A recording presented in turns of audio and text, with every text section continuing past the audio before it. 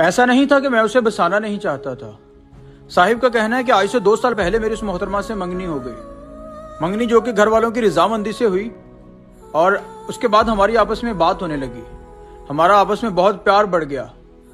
आ, उसे महँगे महँगे तहाइफ देना महँगी महँगी जगहों पर लेके जाना और उसकी बर्थडे पे उसे और उसके घर वालों को महँगे महँगे तहाइफ देना ये एक मामूली बात थी। मेरे दोस्त मुझे बहुत मना किया करते थे। क्योंकि मैं एक ऐसी फैमिली से ताल्लुक रखता हूँ, जहाँ पे ये सब चीज़ें ऐप समझी जाती हैं, मायूब समझी जाती हैं। महँगे महँगे तहाइफ और ये सब चीज़ें, बर्थडे, और मेरी ज़िंदगी की सबसे पहली बर्थडे मैंने उसी की विश की थी और उसी की मनाई थी। लेकिन बिल आखिर हम आपस की ज़िंदगी में बहुत सुकून में थे। आज से तीन हफ़्ते पहले हमारी शादी हो गई। शादी के बाद अल्हम्दुलिल्लाह एक दिन बहुत अच्छे से गुजरा, बहुत सुकून से गुजरा। लेकिन उसके बाद ज़िंदगी ने बिल्कुल काया पलट दिया।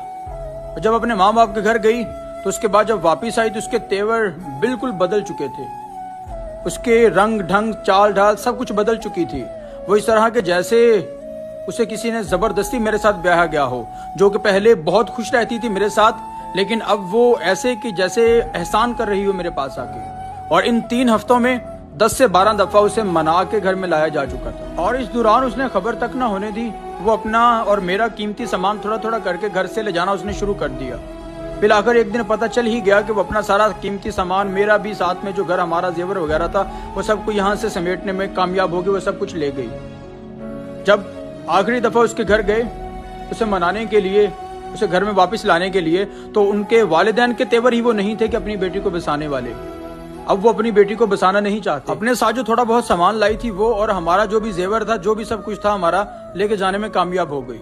अब उसके फर्नीचर वगैरह और ये कुछ थोड़ा बहुत सामान उसके घर में पड़ा है। लेकिन अब तक मुझे एक बात नहीं समझ आई कि अगर उसने और उसके घर वालों ने घर ही नहीं बसाना था, घर ही नहीं बसने देना था तो ये शादी क्यों की थी?